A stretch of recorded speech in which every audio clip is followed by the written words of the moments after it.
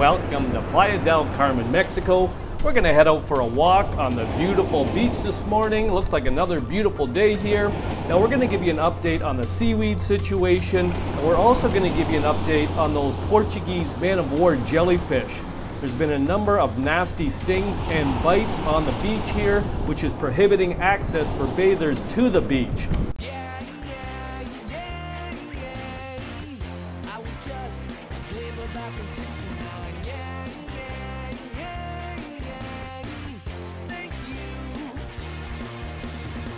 Welcome back to my channel and welcome to Playa del Carmen. Just for context, we have a map here. I have circled Playa del Carmen. Now I just want to circle this section right here. This is Park Las Fundadores. Now, why would you be familiar with this? Now, if you're grabbing a ferry over to Cozumel, this is where you would get the ferry. Also, if there's any major kind of um, activities going on or shows, they're usually right in this area right here. And there's that big famous statue associated with Playa del Carmen. It's also in the Park Las Fundadores. Now I'm going to circle this section right here. Now this is where I'm going to be doing my walk on the beach today. This is right in front of the famous Hilton Hotel.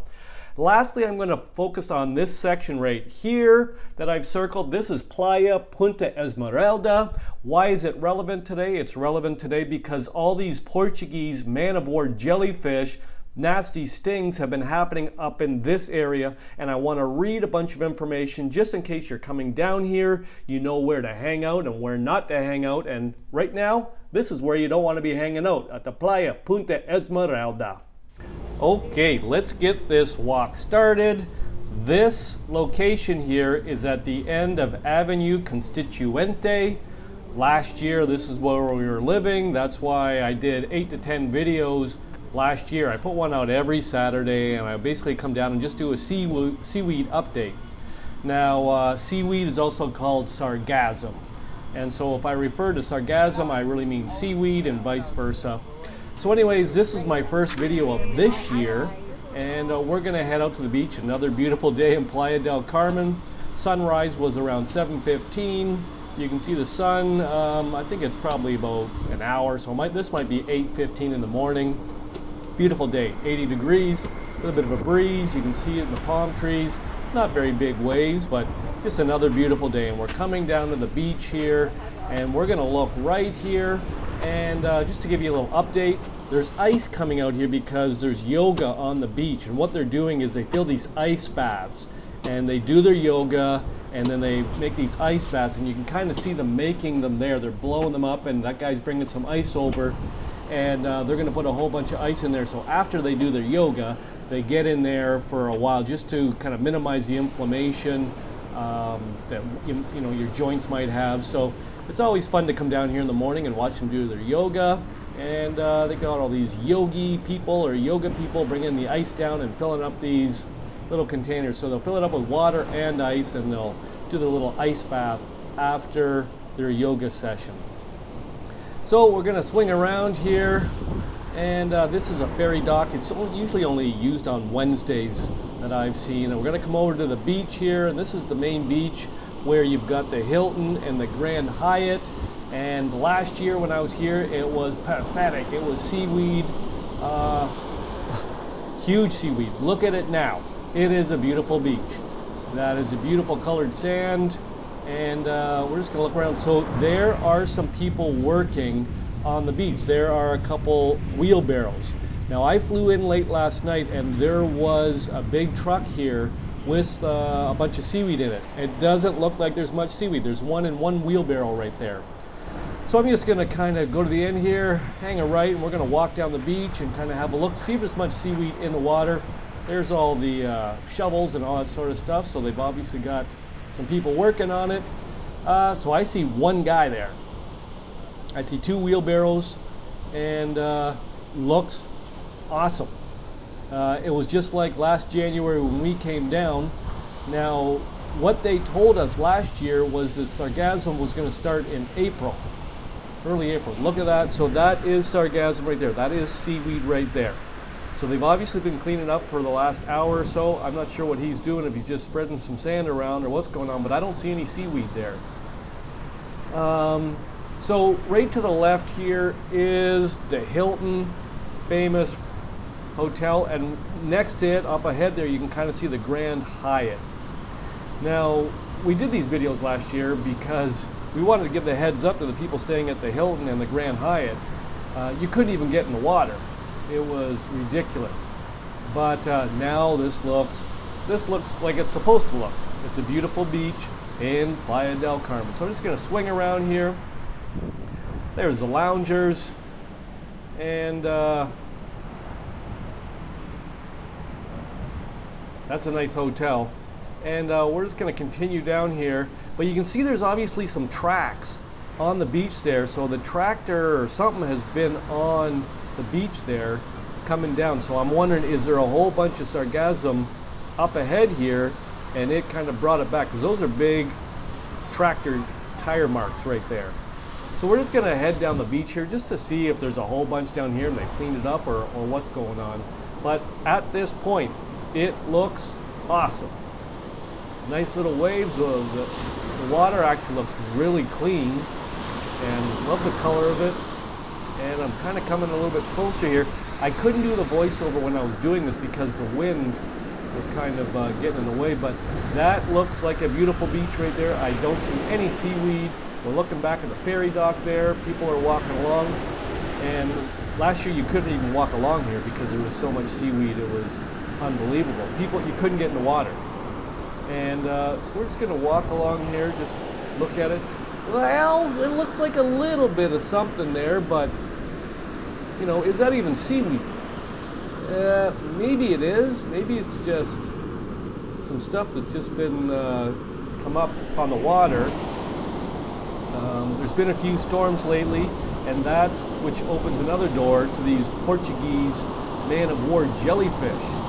And they're a little bit farther north. I, I just had the map out and I showed you that's farther north. Um, now I think Constituente is maybe 12th or 15th or something like that. But this um, Esmeralda beach is way north. So we're looking north, and I think it's around 86. So it might be a kilometer or so up there. So there is the famous Hilton. Beautiful. It's got a beautiful pool in there.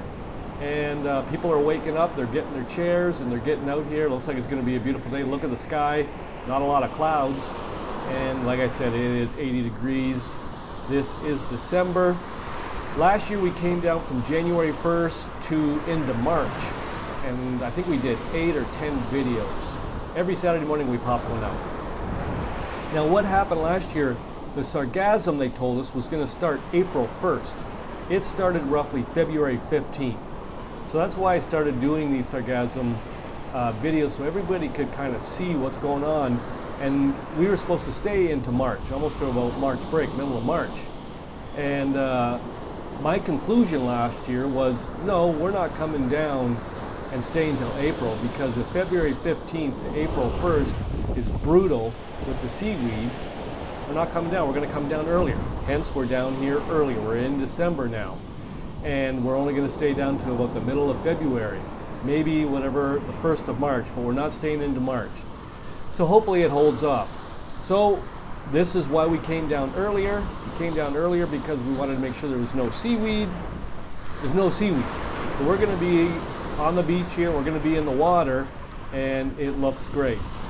Now, Playa is just waking up here. It is still early. Like I said, I think it's about 8.15 in the morning. And, you know, I love the beach early in the morning and probably around sundown between maybe 5 and 7. Those are my two favorite times to be on the beach. So I am down here every morning kind of just scouting things out and I will be doing a number of videos. I'll pop one out every Saturday. Now this next hotel we're coming to here is the Grand, Grand Hyatt. Also a nice kind of uh, pool in there, but we're just gonna walk up here. Now I don't know why those big tire tracks were in the sand. Now I'm looking down here, that's seaweed. That's sargassum. Now you have to clean this stuff up in the first 24, 48 hours or else it becomes toxic. So I'm wondering, did I miss something yesterday? Because I, when I flew in and I came down here late last night, I saw a big uh, truck and it was filled with, with sargassum. Now I'm wondering, are they cleaning this up every second day? because after 48 hours it becomes toxic. You ingest that, you swallow that, whatever, and the smell. It smells like rotten eggs, and uh, it's toxic. It's bad for you. So you don't want to be, you don't want to really rubbing up against you in the water. Now, what I'm going to do here is I'm going to pull out a little bit of information because there's been a number of newspaper articles that have come out that are cautioning people about these Portuguese man of war jellyfish. Okay, so I'm just going to take a little left here and look at the Grand Hyatt. A nice hotel. If you'd walk up those stairs there, you'd be right at the pool. It's a nice pool.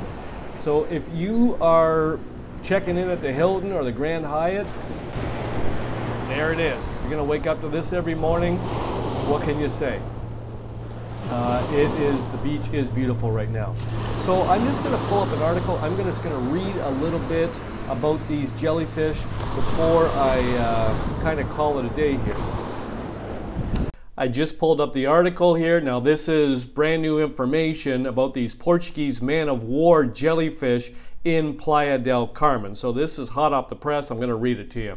Fauna are the animals of a particular region, habitat, or geological period, and in this case are in reference to jellyfish activity within Playa del Carmen.